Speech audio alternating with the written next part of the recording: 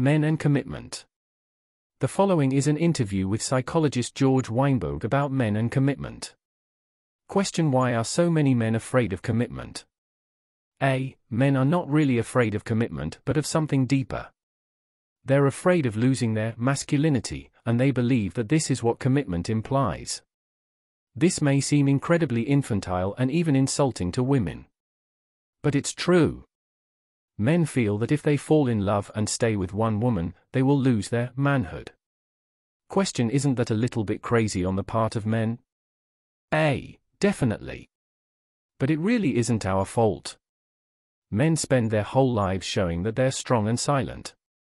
They fight for independence the way women struggle to connect. By the time a man is in his late teens or his twenties, he's so happy to be away from his mother and on his own that he wants to keep it that way. Question But men fall in love. And a lot of men want to get married, isn't that true? A. Yes, it is. And that's why I wrote WHY Men Won't Commit. There's a terrible contradiction inside men's hearts, which is what women have to contend with. My practice is mostly men, very successful men. Every day in my office, I hear men talking about how terrible they feel when a relationship ends, even if they were the ones to end it. The woman was really important to them, but they never let her know. And when things went a little wrong in the relationship, they ran away. Question why? A. Because it wasn't masculine to talk about it or even to admit to themselves how much they cared for the woman and how lost they felt when things were going wrong. Since men have so much trouble talking about their feelings, most of them are looking for the perfect woman in a ready-made relationship. When something goes wrong with a woman, it seems easier to leave her and start over with someone new. Question What can a woman do? A. The key is to understand how men perceive their masculinity. Actually, most of their masculinity is symbolic. Men see little symbolic signs that they can keep it or that it is going to be taken away. A woman who understands this can make gestures, many of them also symbolic, that cost her nothing, but that make the man feel masculine and secure with her. Question Does this mean that women have to give half their lives to the project? A. Absolutely not. Women should be giving a lot less and asking for more. That's the whole point. The woman who understands a man's oversensitive points ends up doing a great deal less than a woman who turns herself inside out for a man, but doesn't know what he's really responding to. My book is a roadmap for women to understand how men really think. It shows where the hidden landmines are, and it shows how to avoid them. Question So you're saying that a woman can get any man who loves her to commit? A. Yes, if he genuinely loves her. She just has to do the small things that give the man the green light to go ahead e to commit. Once she takes these steps, a woman can also tell if a particular man is one of those losers who simply can't love. Then, at least, she's free to walk away, knowing that she did everything she could. Question So, how does a woman figure out how men perceive this precious masculinity? A. The first thing to know is that masculinity is very fragile. Men are actually the weaker sex they may talk louder and act tougher. A lot of us seem to be control freaks. But we are really scared. We're much more lost when it comes to knowing ourselves, who we are, and what we feel. We've been taught not to discuss these things or to think about them. And in a love affair, we're at a real disadvantage. Men get totally confused when they're in love. This is why we're so paranoid and we run away when things get close. Question So what gives men the green light to commit?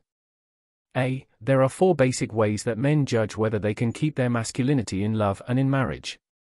First, they ask if they can still travel light. Second, they want to be sure that they are absolutely special to the woman and not just filling the role of needed husband.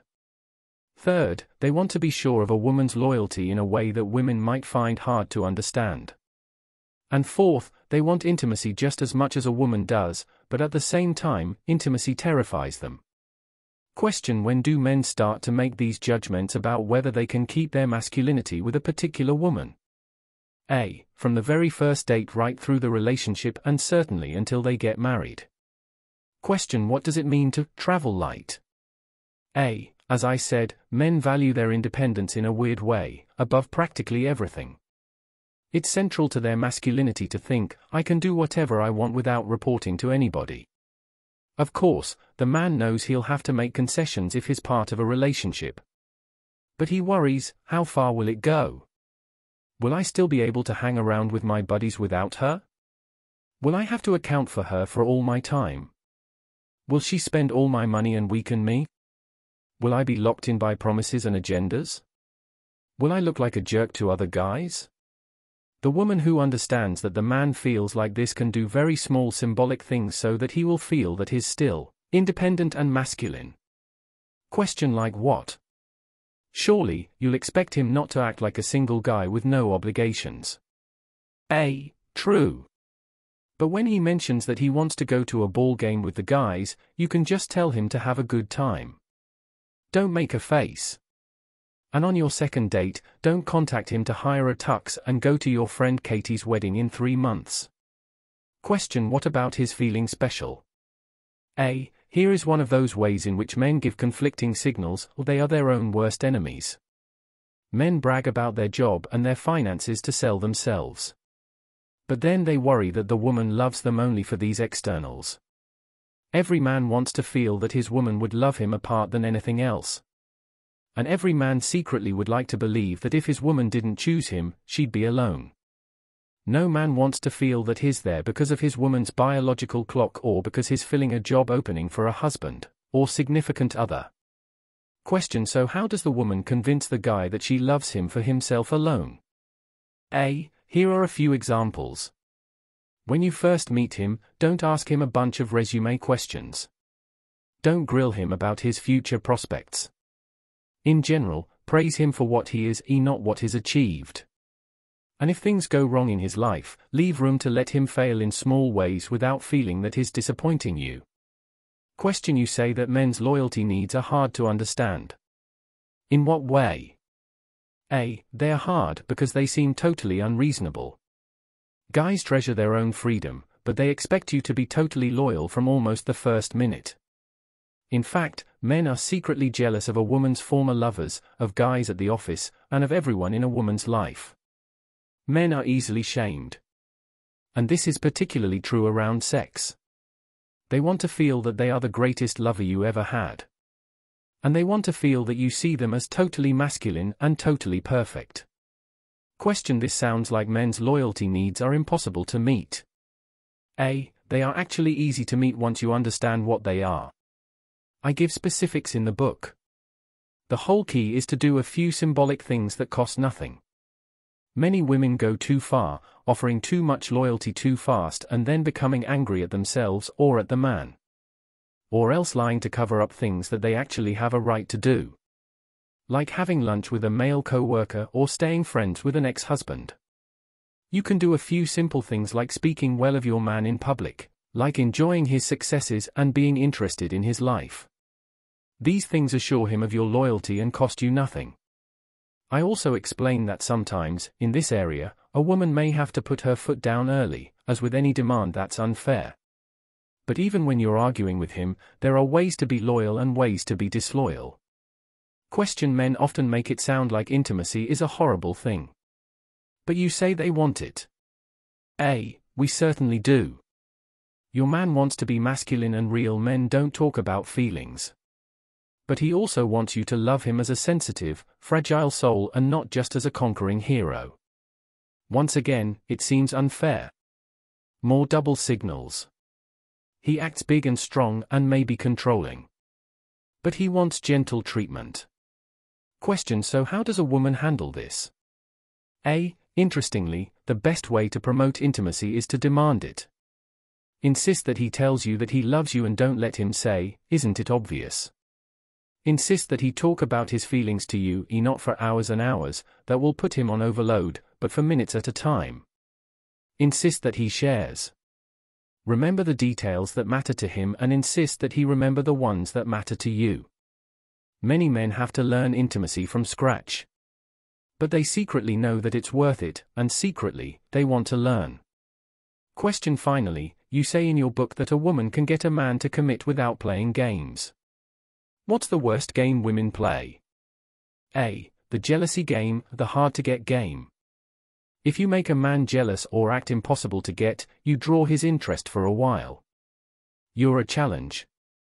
You are getting the person to pursue you, to put you up high, to do cartwheels. But even as the man pursues you, more than he has pursued anyone in a long time, maybe ever, he knows that you are punishing him. He feels that he is working unnecessarily, that you are torturing him, and he'll resent you for it. When he finally catches up to you, he will make you pay. The resentment that is built up will come out, one way or another, and in the end, you'll be the one who's being punished. George Weinberg, PhD, is a clinical psychologist and the author of nine books, including Self Creation, The Heart of Psychotherapy, and Society and the Healthy Homosexual, in which he coined the term homophobia. He has appeared on such national radio and television shows, including Oprah and Live with Regis and Kathie Lee, and has written frequently for magazines from Cosmopolitan and Glamour to Guide and Reader's Digest. While other therapists tend to be students of women, Dr. Weinberg is a student of men. From childhood, most men have been taught to be strong and silent, never to show weakness. They've been discouraged from talking about their feelings, so they never learned the skill. Now, most are on a quest for the ready-made perfect woman. They feel that, in relationships, things can't be worked out. When the slightest thing goes wrong, it seems easier to bolt than to talk. It is easy to scare a man, but it is also very easy to capture his love without playing games.